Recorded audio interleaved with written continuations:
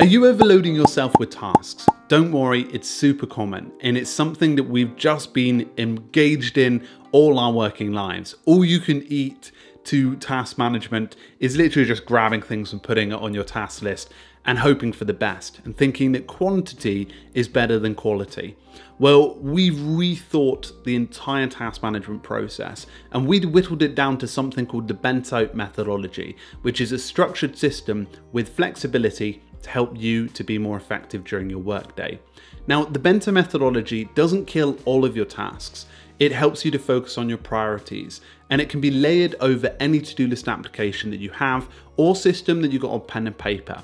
And it's something that a lot of people like to be able to infuse what they're doing with their task management. And we've upgraded it and revised it in this brand new course. This new course will teach you not only the system and methodology in high level of detail, but it will also teach you principles and frameworks you can apply over the top of the Bento system.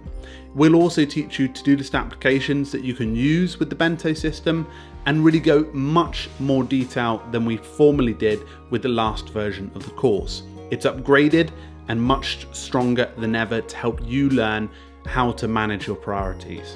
I'm very excited to announce the Bento methodology to you all, and I'm excited to have you as a student. I'll see you there, folks.